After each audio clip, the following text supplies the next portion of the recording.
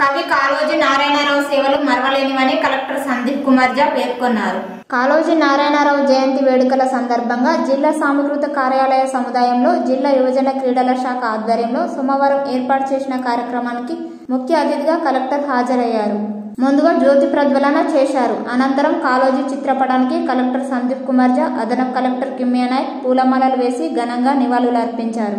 ఈ కార్యక్రమంలో ZP CEO Vinod DYSO Ramulu ఆయా శాఖల ఉన్నతాధికారులు తదితరులు పాల్గొన్నారు.